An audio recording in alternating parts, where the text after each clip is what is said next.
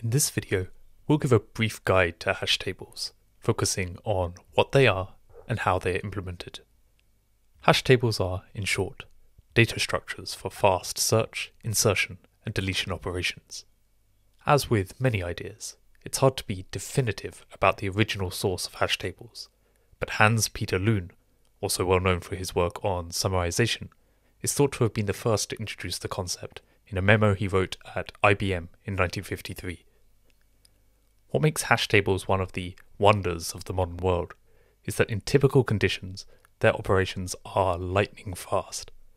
In particular, the average case complexity of searching, insertion, and deletion is constant. That is to say, it is independent of the number of data items stored in the hash table. This is really the key benefit associated with this data structure. A note of caution, though, is warranted. Their worst case behavior can be very poor, with searching, insertion, and deletion exhibiting linear complexity in n. When considering storage rather than operations, the complexity of hash tables is linear in the number of stored items. The fast average case performance of hash table operations means that they are well suited for implementing the ubiquitous abstract data types of set and map. The set abstract data type denotes a collection of objects with some associated operations. To keep things flexible, in our description of this collection, we'll assume that each object x has a key stored as an attribute x.key. As humorously noted by Donald Knuth, using keys for searching is highly appropriate, since many people spend a lot of time each day searching for their keys. Three of the essential set operations are insert x, which inserts object x into the set, delete x to remove object x from the set, and search key, which gets the object x if there's an x whose key matches the query key, and otherwise raises an exception. The map abstract data type corresponds to a collection of key value pairs, also with associated operations. These include insert key value, which adds a given key value pair to the map, delete key, which removes the key value pair with a given key from the map, and search key, which gets the value associated with the given key if present, and if not, raises an exception. In the case of both sets and maps, keys must be unique. Given their similar operations, implementations of both sets and maps will benefit from fast search, insert, and delete operations. We'll focus on sets for this video, but we can trivially achieve a map-like interface simply by adding a value attribute to each object in the set. In order to get the promised impressive operational speed for hash tables, the key idea is to replace searching, which can be a laborious process, with array indexing, which is very fast. This idea may not be intuitive, so let's walk through an example. Suppose we wish to store n objects, labelled x0 up to xn-1, that have corresponding unique integer keys, k0 up to kn-1. We'll assume that all keys fall within a set of integers ranging from 0 up to n-1. We'll use the grandiose term universe, denoted by u, to denote this space of all possible keys. So in this example, u is equal to the integers between 0 and n-1 we can achieve our goal of fast search with a simple trick. The trick is to build a big array that contains m slots, which are labelled from 0 up to n-1. Any unused slots are assigned a value of none, which is denoted here by the turquoise squares. Let's consider some example operations with our big array on two objects, x0, which we'll assume has a key of 2, and x1, which we'll assume has a key of 4. To insert x0 and x1 into our big array, we use their keys as indices. So x0 goes in slot 2 and x1 goes in slot 4. To delete x0, we go to its index, which is 2, and replace the contents with the none value. Finally, to search for the object in our data structure with a given key, in this case 4, we just look at index 4 and return its contents, which in this case was x1. This data structure, which is called a direct address table, seems gloriously fast and simple, and it is. we have our three desired operations in constant time. So, what is the catch? Consider the question of what happens if the universe of possible keys is much larger than the number of objects we want to store. The answer is lots of wasted space for empty array entries. To make this concrete, suppose we want to store the five IPv6 internet addresses of our closest friends, a very normal thing to do, and we choose to put them in a direct address table. Since IPv6 addresses use 128 bits, our universe now contains 2 to the power of 128 possible values. Somewhat inconveniently, this means that our direct address table to keep track of our friends' IP addresses will require more than a thousand trillion trillion 1 terabyte hard drives. At current prices for new drives on eBay, this would cost more than 28,000 trillion trillion pounds. That is assuming free delivery. Even for very close friends indeed, this is probably not a justifiable expense. Hash tables offer an ingeniously economic solution to this problem. Rather than using keys directly as indices, a hash table adds a layer of indirection by using a function which we'll write as h to compute the slot associated with each key. This function, h, which we'll call a hash function, maps each possible key in the universe into one of the M slots, and is designed with the goal that it will allow us to use a much smaller array to store our n objects. In fact, we're going to aim for an array with a number of slots, m, that grows linearly with the number of objects, n, rather than with the size of the universe of possible keys. Okay, let's clarify this using the insert operation as an example. With a direct address table, which is effectively a big array with the same number of slots as universe elements. If we want to insert object xi, we examine its key, ki, and use slot ki in the array to store the object.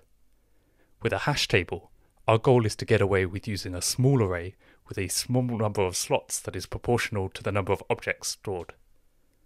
To insert an object xi, we examine its key, ki, and pass it to a hash function h then use the slot h of ki to store the object. Searches and deletions use the same indexing scheme. Let's look in more detail at hash functions. We'll start by supposing that our universe of keys, u, lies within the set of integers, z, and that our hash table has m slots. A basic hash function to pack integer keys into these slots is to compute the value of the key k modulo m. For example, if we have a hash table with five slots and three objects, x0, x1, and x2, with keys 2, 8, and 23, we can compute the slots by executing the hash function. 2 modulo 5 is 2, so x0 is mapped to slot 2. 8 modulo 5 is 3, so x1 is mapped to slot 3. 23 modulo 5 is also 3, so x2 also maps to slot 3. Uh oh, we had a collision. This is bad news. As we'll see shortly, collisions can be handled, but they should be avoided by the hash function where possible, in large part because they slow things down. Broadly, we have two key requirements for our hash function. The first is that it should be fast to compute. The reason for this is clear. Our whole rationale for investigating hash tables is to accelerate operations, so we don't want to be hanging around waiting for the hash function to finish. Second, the hash function should minimize collisions, defined to be the event that distinct keys are mapped to the same value. Unless we know all the keys that will be used in advance, our ideal hash function for minimizing collisions rolls a fair m-sided die for each key k. Such a mapping is sometimes referred to as an independent uniform random hash function. The challenge here is that achieving true randomness from non random data is theoretically impossible, so we can't implement this idealized hash function.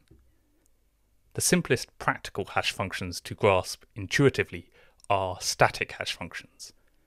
These include the division method we saw earlier, using the modulus operator. In general, a naive implementation of this method tends to produce too many collisions to be useful, although it is helped a little by choosing m to be a prime number. The multiplication method is another simple approach. We choose a constant between 0 and 1, then we multiply this by the key and take its fractional part via a modulo 1 operation, scale this up by m, and then apply a floor operator. This allows more flexibility in the choice of m. We don't need to make it prime, for example. Unfortunately, static hash functions are vulnerable to unfavorable key distributions, either from mischievous adversaries or bad luck, in which many collisions occur, ruining the hash table performance. The essence of our way out of this problem, as observed by Erickson, is to remember that input data is not random, so good hash functions must be random. Random hash functions represent an implementation of this idea in which we randomly choose a function from among a family of hash functions. A useful concept here is that of a universal family of hash functions, H, which has the property that the probability of collision for any distinct pair of keys is less than 1 over m, the number of slots. Note that here the probability is over the hash functions that form members of the family, not over the keys. The textbook example of a universal family of hash functions, introduced by Carter and Wegman in 1977, is to pick a prime number larger than the size of the universe of keys. Then, define a hash function via h of ab equals ax plus b mod p mod m. Then, the family of hash functions, HPM, defined as the set of HAB functions, is universal for a in the positive integers less than p and b in the integers less than p. The parameters a and b are referred to as salts, which are sampled when the hash table is created, but then remain fixed. At a high level, when coupled with sensible collision handling schemes, universal hash functions are less vulnerable than static hash functions to unfavorable key distributions. In particular, an adversary can no longer pick out a sequence in advance that will guarantee worst case runtime. Though not strictly required for hash tables, an important category of hash functions are cryptographic hash functions. These aim to offer additional guarantees, such as preimage resistance, which means that it should be hard to recover the key from the hash value, and various forms of collision resistance, in which it is hard to find distinct keys that produce the same hash value. The trade off is that cryptographic hash functions tend to be slower in order to achieve these characteristics, although, due to their importance, there are sometimes specialized CPU instructions to accelerate them for widely used variants like the SHA hash family. Hash functions have a wide range of applications. While here, we are mostly interested in their use for hash tables, which themselves underpin much of modern software, they are also used in algorithms for string matching, like Rabin-Karp. Cryptographic hash functions, in particular, are used to store passwords, create digital signatures and message digests, and are also used as part of proof of work schemes for securing blockchains. Perhaps the canonical example here is the use of SHA-256 as part of the Bitcoin blockchain. Designing robust hash functions for real-world usage is hard. Although the universal hash functions we mentioned earlier are robust against worst-case behavior on average over different draws of the salts, they are still vulnerable to interactive attacks, where an attacker can observe whether keys are being hashed to the same slot by timing operations. To give an example of how this can be addressed, CPython, since Python 3.4, has used a hash function called siphash when hashing strings and bytes, as a way to prevent denial of service attacks, known as hash flooding, where an attacker deliberately induces collisions. We'll now turn to the topic of chaining, which provides one relatively simple way with which to handle hash collisions. Let's return to our example 5 slot hash table from before with the same hash function and let's make some insertions. x0 with key 2 maps to slot 2. X1 with key 8 maps to slot 3. x2 with key 23 also maps to slot 3, but finds it full due to a hash function collision. This is resolved by combining x2 and x1 in a data structure, typically a doubly linked list which allows for fast deletions. Inserting x3, whose key is 98, produces another collision, so we insert it into the linked list for slot 3. When it comes to searching for the object with a given key, say 8, we go to the slot and traverse the list until we find the object with the matching key, in this case x1. To delete an object from the hash table, we can remove it from the linked list, which is then stitched back together. Let's now look at how efficient a hash table is going to be with chaining in the worst case scenario. If we've used doubly linked lists, insertion and deletion can be performed in constant time, so we'll focus on the cost of search. The worst case search scenario occurs where all n inserted keys collide, so all objects are mapped to the same slot. In that case, the cost of search is theta n, since it requires a linear scan along the linked list containing all n elements, or log n if we've taken the time to keep the list sorted in order to enable binary search. Let's turn to the average scenario we'll focus on the cost of an unsuccessful search, i.e., the case when the search key does not exist in the hash table because it's simpler to analyze. As a first step, we'll define the load factor of the hash table, alpha, to be n, the number of items in the table, over m, the number of slots. We'll assume that our hash function is universal, and so the collision probability between any distinct pair of keys is less than or equal to 1 over m. Inserting n items produces chains whose expected length is the number of items divided by the number of slots, i.e., alpha. Consequently, the average cost of an unsuccessful search is theta 1 plus alpha, which is the cost of hashing plus the cost of a linear scan along the average chain length. The average cost of successful search, in which the target key does exist in the hash table, turns out to have the same complexity as unsuccessful search, though the analysis is slightly more involved. An alternative approach to chaining is to use open addressing, terminology that was coined by William Wesley Peterson in 1957. The simplest variant of an open addressing scheme is linear probing, which remaps each colliding hash to the next available index. To see how it works, let's return to our hash table with five slots, our division hash function, and the task of inserting four elements into the table. Insertion of x0 with key 2 goes into slot 2 as before. Object x1 with key 8 goes to slot 3. Object x2 with key 23 also maps to slot 3. Since this slot is taken, we examine the next slot and, finding it free, insert x2 there.